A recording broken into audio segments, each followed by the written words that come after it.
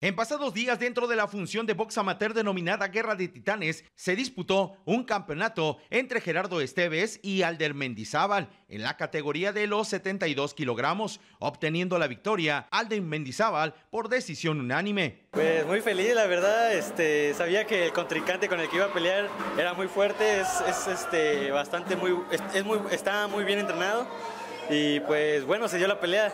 Me, la refé gracias a Dios, con el apoyo de todo mi equipo, me echaron porras y me motivé para sacar adelante la pelea. Este, bueno, el primer round fue donde más sentí su, su pegada, más que nada, que este, hasta me dejó el ojo un poquito morado y un rasponcito por ahí, pero pues aguanté, aguanté la, la pegada bien.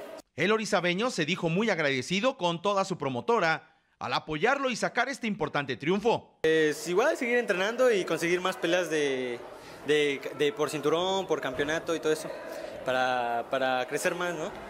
Eh, y dar, eh, alzar más el nombre del gimnasio. Pues a mi familia y a todo mi equipo del gimnasio que pues, siempre me apoyan y pues nunca me dejan solo, siempre entreno con ellos, todos son muy fuertes, todos son muy buenos la verdad y aprendo de ellos. Continuará preparándose para más peleas que se puedan presentar, ya que habrá guantes de oro en Orizaba. Antonio García, RTV, más deportes.